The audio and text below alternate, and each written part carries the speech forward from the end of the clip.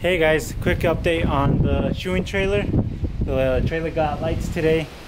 These are 8 foot LED lights, 7000 lumens, which are just zip tied throughout the roof of the trailer.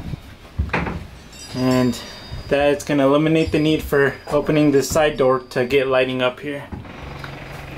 Uh, the slack was just cleaned up a little bit and had the switch over here with double sided adhesive and is being powered by the Ego Nexus power station.